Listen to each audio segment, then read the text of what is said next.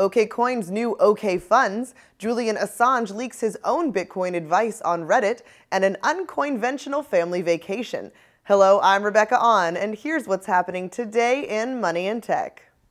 Following Apple's update to their App Store review guidelines, a new Coinbase app has reappeared on the iOS Store. However, the app was not actually released by Coinbase, but rather by Airbnb developer and Bitcoin enthusiast Andrew Vilcsak who built the app on the Coinbase API.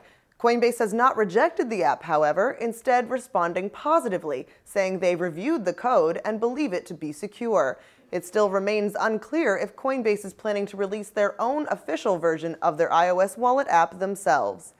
And Bitcoin payments processor BitPay tweeted today that the new BitPay iOS app, which also recently appeared on the Apple App Store, is not an official app from the company, serving as a reminder for users to be wary of apps that may be making unsupported claims and may not actually be sanctioned or trustworthy. Major Chinese Bitcoin exchange OKCoin announced today their release of new peer-to-peer margin trading features, including both fiat and Bitcoin borrowing and lending, and two new interest-yielding investment funds, dubbed the OK Standard Fund and the OK VIP Fund.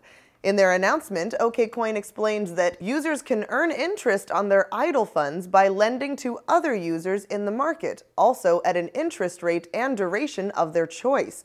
The system will automatically match the most suitable loans with those looking to borrow.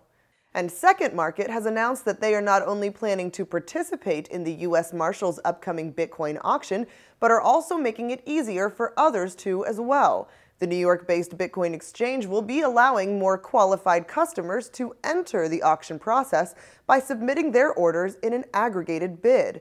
Those participating in Second Market syndicate will be charged a 5% facilitation fee and have a minimum bid of $50,000, which is much lower than the U.S. Marshals required minimum bid of $200,000. What's more, Second Market will be donating 10% of all auction fees they receive to the Electronic Frontier Foundation. The deadline to enter orders for the auction will be Thursday, June 26th at 12 p.m. Eastern Standard Time. Russia's Financial Action Task Force appears to be working on a forthcoming paper that will clarify the country's stance on Bitcoin and other digital currencies, aggregating extensive research from anti money laundering and terrorist financing officials at the FATF and other agencies in Russia, the US, and UK. Russia has been previously very cautious about digital currencies, with past government statements even seeming to ban their use. The coming paper will likewise cover potential risks, but may present a more positive overall outlook, according to project manager Eugene Volovic, who himself said, just as email today has replaced the usual post offices and telegraph came to replace SMS and popular services such as Skype or Viber, radical changes could begin with virtual currency.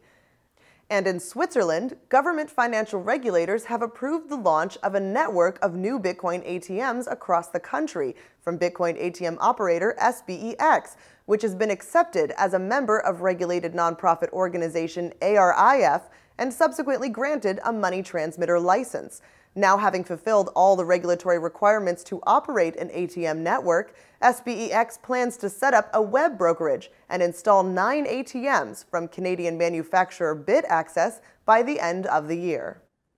In an AMA on Reddit today, WikiLeaks founder Julian Assange shared a conversation he had with former Google CEO Eric Schmidt in 2011 about Bitcoin.